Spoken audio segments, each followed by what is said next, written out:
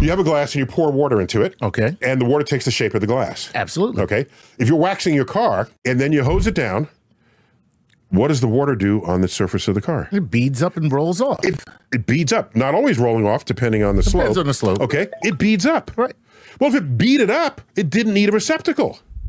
So why do you need a receptacle when you drink water? because it will just come out of me. Yeah. It'll it, it it it can't occupy that much volume without spilling onto the ground. Right.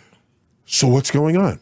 There's a force called surface tension on liquids, where all the molecules in the liquids, there's a force field among them. Hmm. Okay, they're called the van der Waals for- forces, and they all move among each other, but at the surface, there are no van der Waals forces above it because there's no liquid there. Right. So the net effect of all these forces is to create a slightly more concentrated film of molecules at the surface, So it becomes like a net. Li- like a Like a, a membrane, a membrane.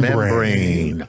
Okay, Oh, I like that. That's why you can toss a leaf onto the water and it doesn't just sink. Right, it'll just sit it's, on top. sit on top of Right. the membrane. Nice. Okay. Also, if you fill a vessel very slowly and very carefully, even a glass of water, you you will see a convex curve on the surface of the water.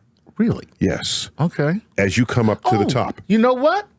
That has definitely been done. Uh, when you get to the top of the glass, if you overfill it, there's a quick little point where the It's- water is sitting above the Just lip. above the lip, that little bit. It doesn't spill over It the side. that's surface tension. That's amazing, and I love it. That's surface tension. Okay. Yes. So that surface tension is not enough to ball up this much water, but it is strong enough to ball up that uh, much water. Gotcha. Okay. Because above a certain blob of water, the weight of the water becomes greater than the surface tension and it can't hold it out. Oh my God, it's like a giant ant at that point.